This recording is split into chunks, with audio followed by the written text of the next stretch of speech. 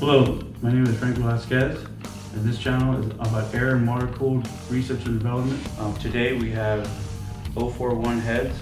We have a brand new OEM stock one, all the way to all out race performance head. This is an 041 that's been highly modified. And we have angle flow heads, 4 inch bore edition, welded up 311 heads,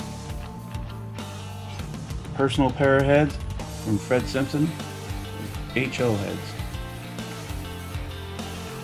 More aftermarket heads that are Fred Simpson HO heads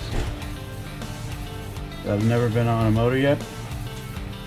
Prepped by Fred Simpson himself at the tail end of his uh, shop being open to another pair of angle flow heads 94 bore. And on this channel we have uh, stock head and we have all the way out to all out high performance. Journey of how you got from stock all the way to performance and everything in between